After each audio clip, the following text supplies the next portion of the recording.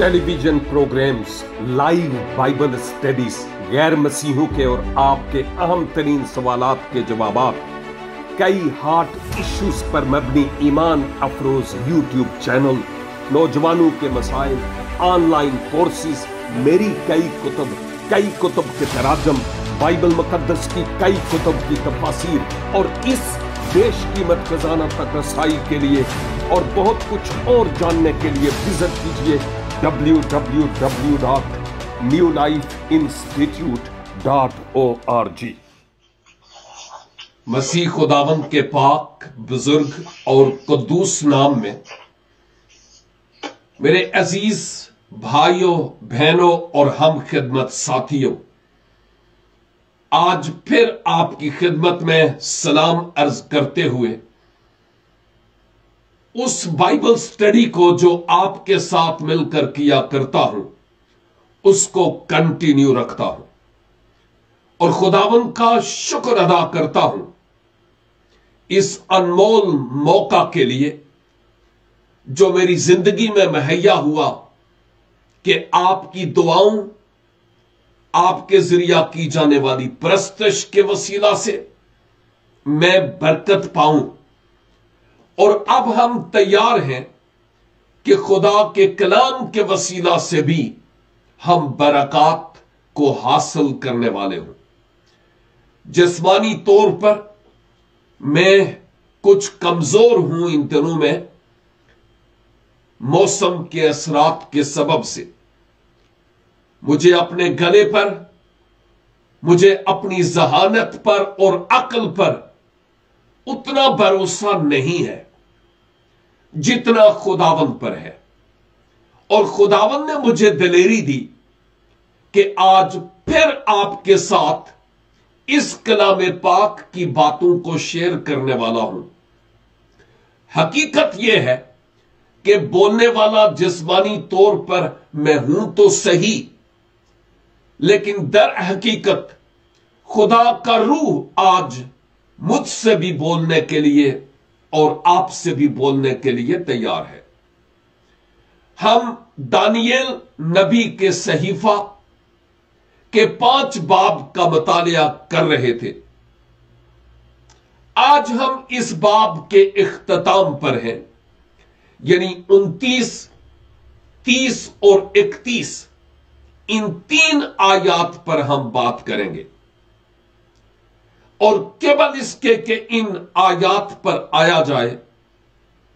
यह मैं बताना चाहता हूँ कि बैल शजर उस निविष्टाए दीवार को ना तो पढ़ पाया, ना समझ पाया।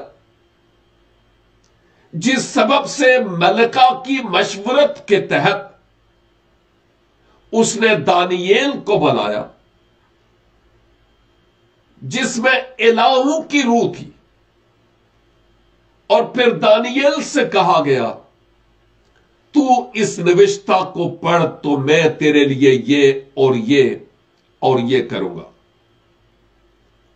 जबकि हम जानते हैं कि दानियल ने जवाब में कहा था कि ये जो इनामो अकराम की आप बात करते हैं साहब ये आपको मुबारक हो। लेकिन जो खुदा ने मुझे मैसेज दिया है, मुझे जो पैगाम दिया है, वो मैं आप तक पहुँचाए देता हूँ। ये जो निविष्टाए दीवार है यह है तेरी ममलकत और तेरी सल्तनत से मुतालिक। क्योंकि लिखा है, मिने मिने तकीलो फरसीन। कि तू तोला गया और कब निकला है, ए बैल शजर? और तेरी बादशाही तुझसे ले ली गई मुनकसम हो गई और फारसियों और मादियों को दी गई है।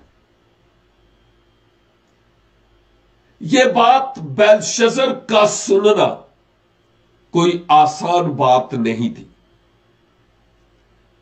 यह एक कड़वी और सख्त बात थी, जो खुदा की तरफ़ से पैगाम के तौर पर बैल शजर को दी गई है। बाजुकात जब मैं और आप भी खुदा के मुँह की बातों को सीखते हैं, खा शख्सी मतालिया के ज़रिया खा खुदा में मसीह जब कलाम को खोलते हैं तो उनके ज़रिया। तो कई बातें हमें सख्त लगती हैं। लेकिन हकीकत में वो बातें हमारी भलाई और हमारी बेहतरी के लिए होती है। और ऐसी ही बात दानियल के ज़रिया से बैल शजर पर ज़ाहिर की गई। आयत उनतीस में लिखा है तब बैल शजर ने हुक्म किया और दानियल को अर्गवानी खिलत पहनाया गया और जरीन तोक उसके गले में डाला गया। और मनादी कराई गई कि वो ममलकत में तीसरे दर्जा का हाकम हो। आय तीस, उसी रात को बैलशजर कस्तियों का बादशाह कत्ल हुआ और दारा मादी ने बासठ वर्ष की उम्र में उसकी सल्तनत हासिल की।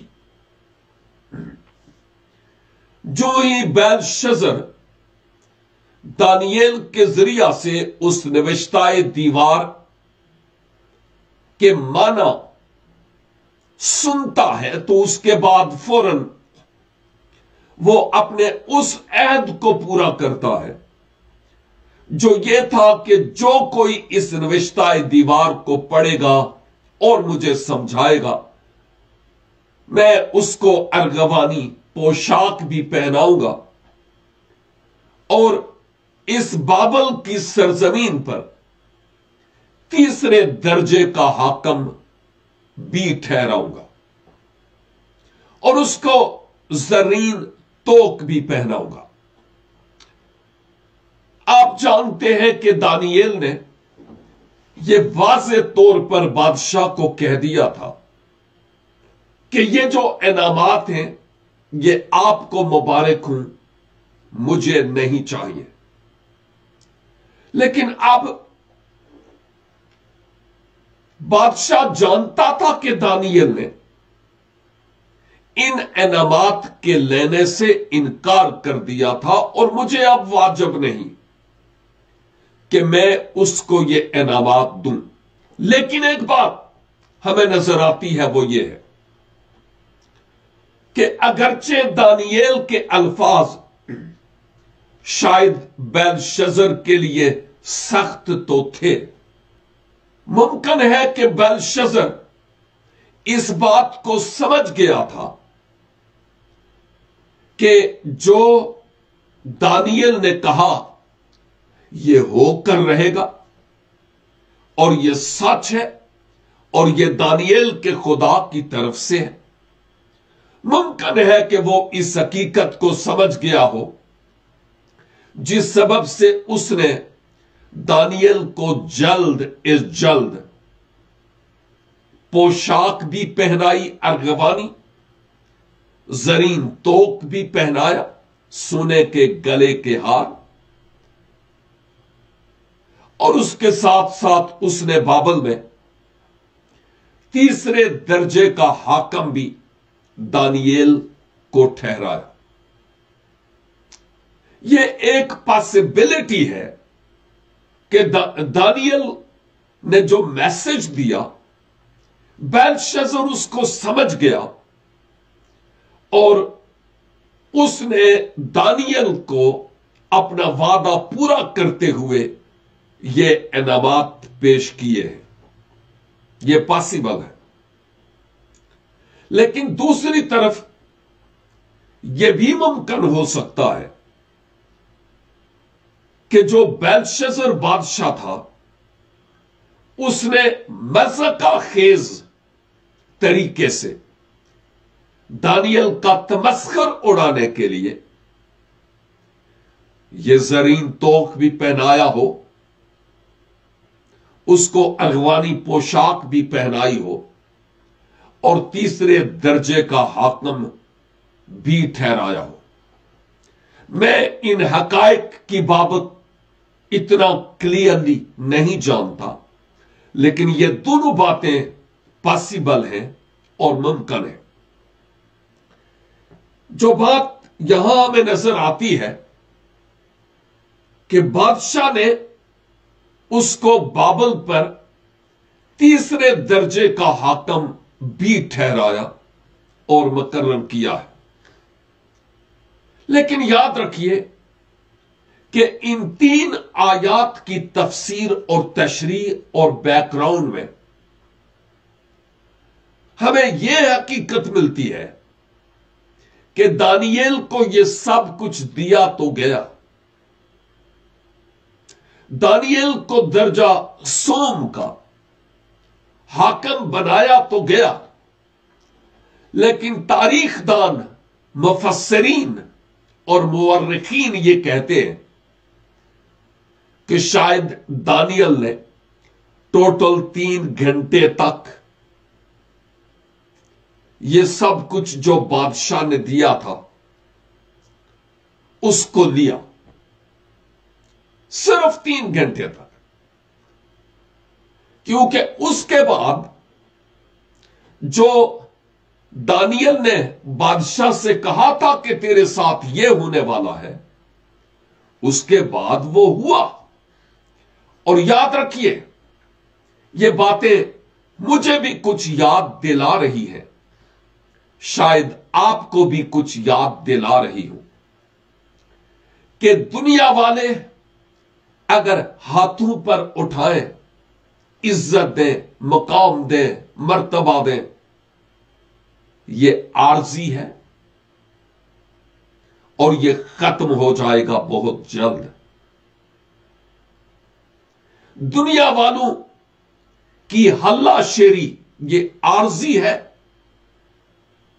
और वक्ती है। यह जमाने की रीत है। लेकिन मुबारक है वो जो खुदावंद खुदा पर ट्रस्ट और भरोसा करते हैं। क्योंकि वो जानते हैं कि जो खुदा की तरफ़ से इनाम अकराम मिलते हैं। जिनमें सबसे बढ़कर हमेशा की ज़िंदगी है। वो अबदी इनामात हैं, वो आरजी नहीं है। इसलिए बंदों की तरफ़ से हमें जो अप्रिसिएशन मिलती है, उसके लिए हम शुक्रगुजार हैं। लेकिन इससे कहीं ज़्यादा बढ़कर हम खुदाबंद खुदा की तरफ़ से मिलने वाले आजाजों और इनाम अकराम के लिए शुक्रगुजार हैं। ये वो हकायक हैं जिनको हमें अपनी ज़िंदगी में रेगुलर अपनाने की ज़रूरत है कि हम खुदावन अपने खुदा के साथ बहर सूरत वफादार रहें। सिला और अजर की तवक्के इंसान से नहीं, बल्कि खुदाबंद से करने वाले हों।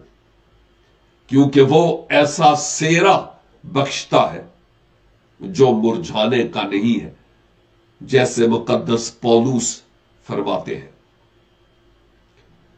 याद रखिए कि जहाँ कहीं दानियल की ज़िंदगी में सरफराजी आई, वो इंसानों की तरफ़ से नहीं, बादशाहों की तरफ़ से नहीं वो खुदावन की तरफ़ से सरफराजी आई। इसकी एक और वजह भी है कि जब इंसान की रवश खुदावंद को पसंद आ जाए तो फिर उसके दुश्मन भी उसके दोस्त बन जाते हैं। यह कलाम का फैसला है। यह मेरी अपनी मन घड़त बातें नहीं है। इसलिए दानियल की सरफराजी। और हर जमाने में खुदा के लोगों की सरफराजी का दारोमदार।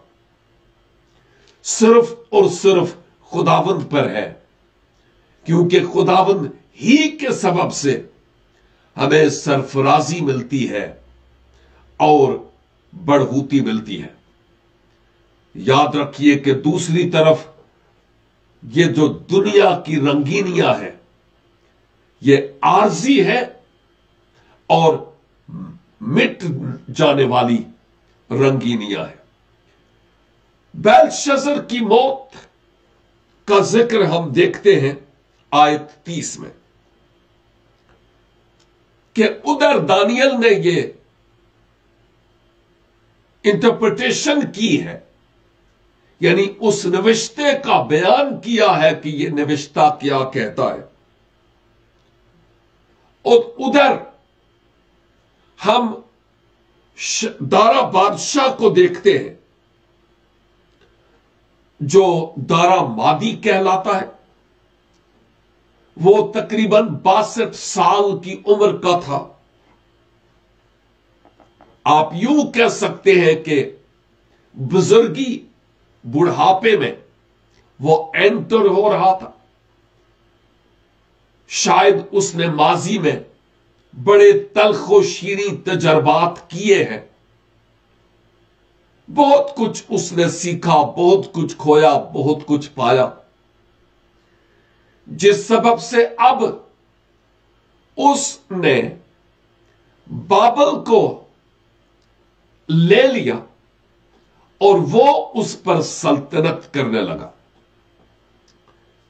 तारीख हमें यह बताती है कि बेलशजर की मौत के बाद, चूँकि वो कत्ल हो गया उसी रात, और उसके पीछे मैं कई दफ़ा इससे पहले बता चुका हूँ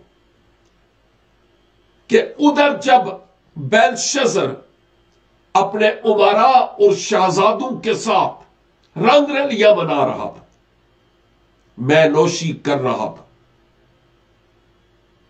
हैकल के जरूफ, मैं वो लाल परी पी रहा था।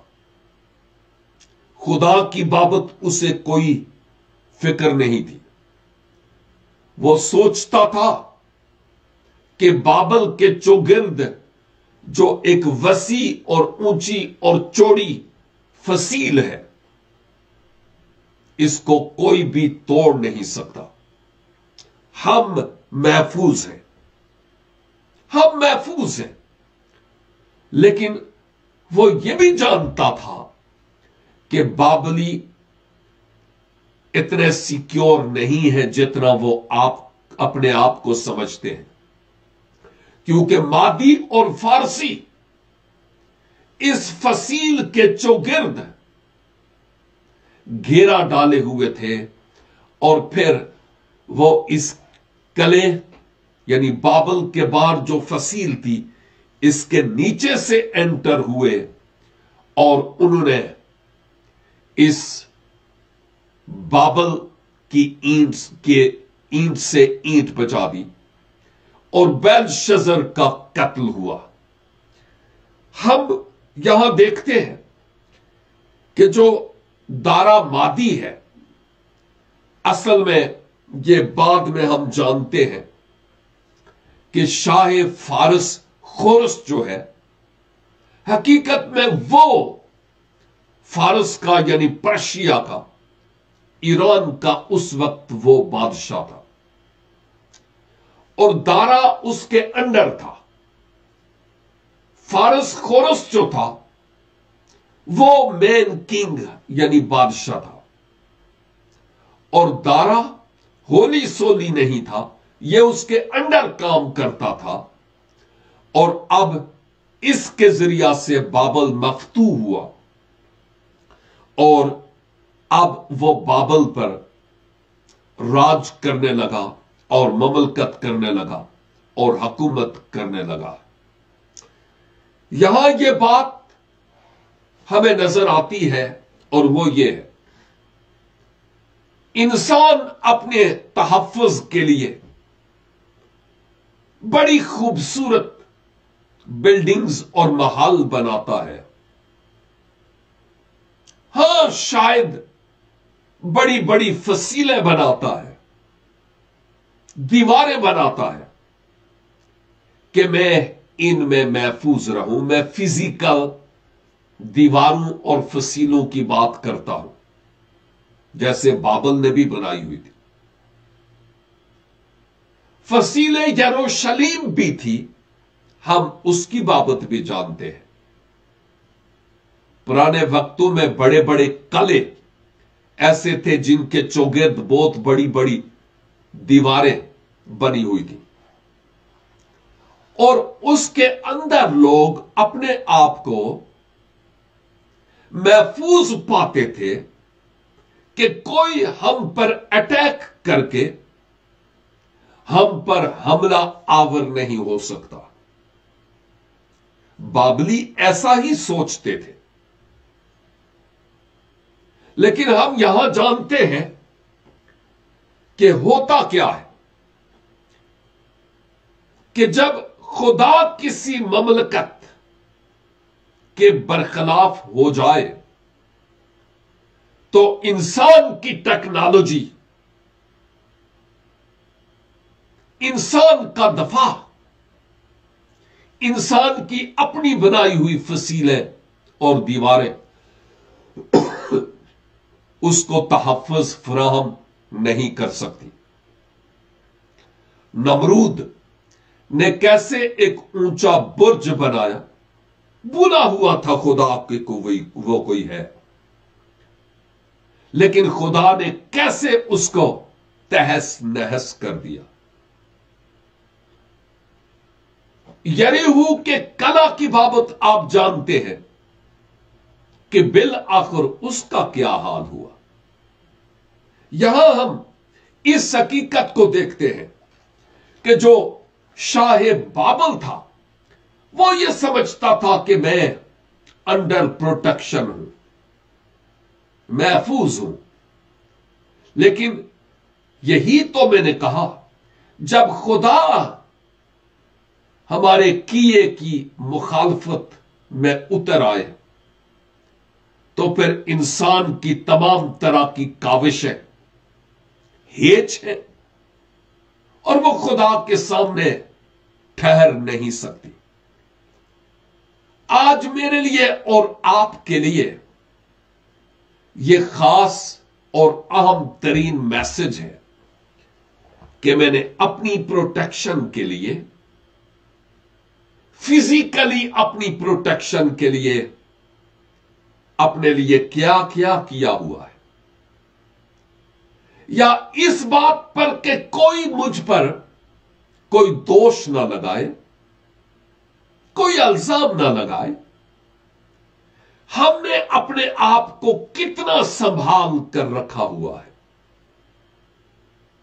शायद सारी दुनिया पर दोष और अल्जाम के हम तीर फेंकें। लेकिन अपने आप को बचा रखे हुए हूँ। लेकिन इस हकीकत को जानने की ज़रूरत है कि जब खुदा की तरफ़ से तीर तीर बरसना शुरू हो जाए तो फिर हमारी अपनी जाति प्रोटेक्शन किसी काम की नहीं, हम नंगे हो जाएँगे। हम पाश पाश हो जाएँगे, क्योंकि उसका मुकाबला कोई कर नहीं सकता। ना सिर्फ़ फसील के एतबार से तहफ़ शायद रुपए पैसे के एतबार से तहफ़ घर बार के एतबार से तहफ़ जाब और रुपया पैसा के एतबार से तहफ़ सेहत के एतबार से अपने आप को मैं ठीक ठाक हूँ। और इज़्ज़त और मकाम के एतबार से मुझे कोई हाथ नहीं लगा सकता। अपने आप को महफूज पाते हूँ। लेकिन यह बहुत बड़े बोल है। छोटा मुँह और बड़ी बात। क्योंकि जब खुदा हमारी मुखालफत पर उतर आए, हमारी मैं के सबब से तो उसका कोई मुकाबला कर नहीं सकता। शाहान इसराइल और शाहान बाबल में बहुत सारे ऐसे थे जिनमें मैं और खुदी कूट कूट कर भरी हुई थी। और खुदा के बरखिलाफ हो चले। और जब खुदा ने उनका मुकाबला किया तो उसके सामने वो ठहर नहीं सके। हमारे लिए आज इस कलील से वक्त में यह सोचने की घड़ी है कि मैं अपना तहफ़ कहाँ पाता हूँ? खुदावन में या मटेरियलिज्म में? मादी और फानी चीज़ों में? या गैर फानी खुदा के हाथों में मैं अपने आप को महफूज पाता और पाती हूँ। दुनिया की अप्रिसिएशन दुनिया की शान और दुनिया के नारे और दुनिया की शाबाशी, दुनिया की तरफ़ से अजर अच्छा तो लगता है, लेकिन यह आरजी और फानी है। काश के, जब हम खुदावन के तख्त के सामने हाजिर हों। तो उस वक्त हम ये आवाज़ सुने, शाबाश, ए दयानतदार खादिम, मैंने तुझे बहुत से पर मुख्तार ठहराया है।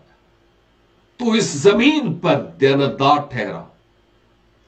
तूने अपनी मैं, अपने का मकाम और अपने मर्तबे को तरजीह नहीं दी। तूने मेरी जात की परवाह की है। इसलिए अब मैं तुझे बोहतेरे पर मुख्तार ठहराता हूँ। खुदावन आज मुझे और आपको यह फजल अनायत फरमाए कि हम हाथों की चीज़ों पर नहीं, बल्कि उन रूहानी बातों पर ज़्यादा तकिया करें। जो खुदावंद की तरफ़ से मेरे लिए और आपके लिए है। हम दुआ करें। ए कादर मतलिक खुदावंद खुदा,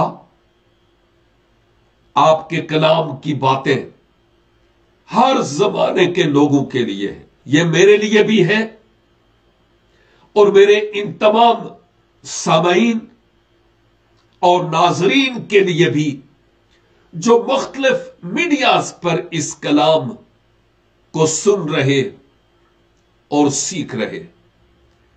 ए खुदावन, इस आईने में हमें अपने आप को परखने का फजल अनायत फरमाइए। मुमकिन कीजिए कि हम अपनी ज़िंदगी में आपको अव्वल दर्जा और तरजीह दें। हम दुनिया की जितनी भी अप्रिसिएशन है, शुक्रगुजार है। लेकिन हम जानते हैं यह आरजी है, फर्जी है, महज दिखावा है। लेकिन जो कुछ आपकी तरफ़ से हमें मिलता है, वो अबदी है। बस हमें अपनी मैं और अपनी खुदी का गला घूटने का फजल बख्श दीजिए। ताकि हम आपकी वफादारी में अपनी ज़िंदगी बसर करने वाले हो सके। और खुदाबंद ये कलाम हमारी जिंदगियों में बस रस जाए। और हम आपके कलाम को दानियल की तरह बड़ी वफादारी और दयानतदारी के साथ सुनने और दूसरों तक पहुँचाने वाले ठहरे। हमारे ईमान को भी दानियल की तरह। इवन जैसे आप चाहते हैं और मज़बूत कीजिए कि हालात खा कैसे ही क्यों ना हो, हम आपकी तरफ़ देखते रहे। खुदाबंद हमारी दुआ को, मिन्नत को, शुक्रगुजारी को आप सुनिए और अपनी पाक खुजूरी में कबूल फरमाइए। क्योंकि मांगते हैं अपने प्यारे खुदाबंद यसु मसीह नासरी के वसीला से। आमीन। खुदाबंद इस पाक कलाम के वसीला से मुझे और आपको भारी बरकत अनायत फरमाए। अगर खुदाबंद ने चाहा तो नेक्स्ट वीक फिर मिलेंगे। तब तक के लिए मेरी दुआ है कि आप खुदावंद की हिफाजत और खुदावंद की अमान में रहें। God bless you